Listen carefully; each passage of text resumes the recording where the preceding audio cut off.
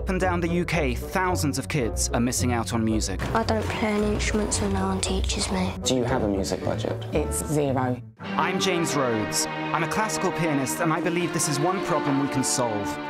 It was like really awesome. So I've got a simple idea. Get unused instruments into the hands of kids who really need them. And if that goes well, every other school around the country, I hope, will do the same thing. But it all starts here with you guys. With your help, I want to give every child a chance to learn an instrument. Really happy.